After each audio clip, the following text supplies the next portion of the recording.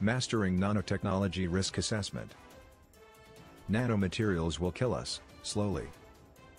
Where in our operations might we encounter potential risks associated with nanomaterials, and what specific hazards or threats do these risks pose to our workers, the environment, and our organization's overall performance? Nanotechnology Risk Assessment, Operational Excellence Identifying and mitigating potential risks associated with nanomaterials is crucial to ensuring operational excellence and maintaining a safe and healthy work environment. The unique properties of nanomaterials, such as their small size and high reactivity, pose potential risks to workers, the environment, and the organization's overall performance. Worker risks 1.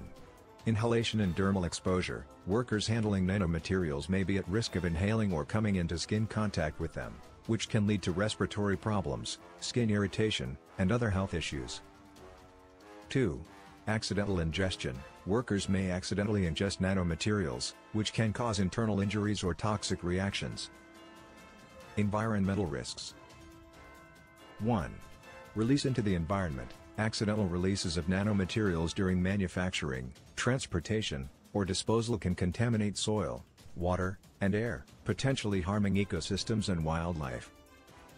2. Bioaccumulation.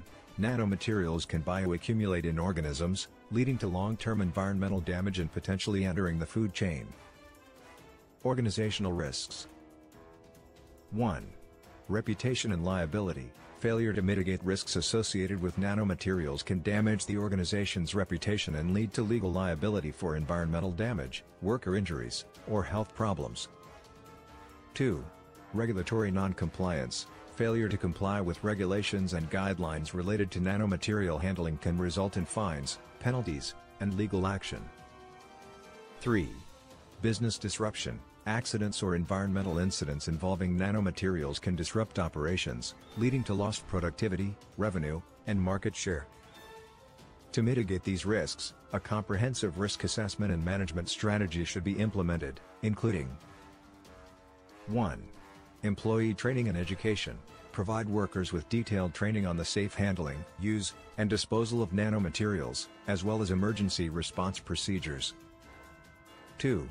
Personal protective equipment, PPE, ensure workers use appropriate PPE, such as respirators, gloves, and safety glasses, to prevent exposure to nanomaterials.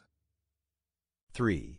Engineering controls, implement engineering controls, such as ventilation systems and containment structures, to prevent releases of nanomaterials into the environment. 4. Administrative controls, establish policies and procedures for the safe handling, storage, and disposal of nanomaterials, including inventory management and tracking. 5. Hazard identification and risk assessment, conduct regular hazard identification and risk assessments to identify potential risks and implement controls to mitigate them. 6. Incident response planning. Develop and regularly update incident response plans to ensure prompt and effective response to accidents or environmental incidents involving nanomaterials.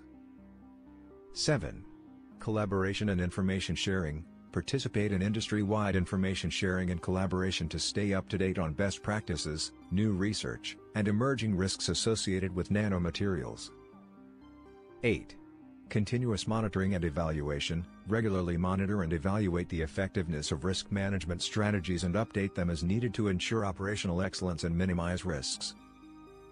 By implementing these measures, organizations can minimize the risks associated with nanomaterials, ensure operational excellence, and maintain a safe and healthy work environment for workers, while protecting the environment and the organization's reputation and bottom line.